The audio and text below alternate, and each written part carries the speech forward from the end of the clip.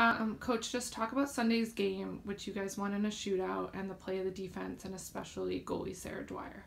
Yeah, I thought it was Sarah's best game by far all season. Uh, she made a couple critical saves and certainly saved us in the shootout by coming up big. Shootouts are never really easy for the goalkeepers. You know, a lot of pressure um, was put on Sarah, and, and uh, she countered that with you know two tremendous saves. So um, I still think our defense has some work to do. You know, we're still allowing too many shots. Um, we shouldn't be putting Sarah in these situations that she's having to make some pretty crazy saves. So.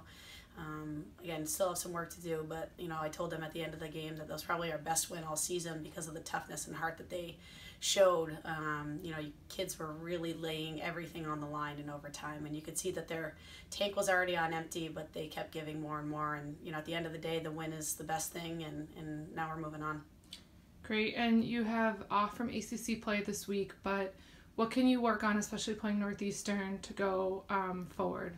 Yeah, I think all all uh, all areas of our game need to be improving, and you know we're certainly going to have that opportunity going up against uh, tough Northeastern opponent and a really you know BCBU. You know, no one really needs to get up for that. So um, again, non non conference weekend, but certainly the regional teams never take it easy on us. And um, two great mat- matches ahead of us and you know again pressing outletting goal scoring defense every area still needs to improve because you know the acc uh, championships uh, is around the corner and we just got to utilize these games to keep getting better.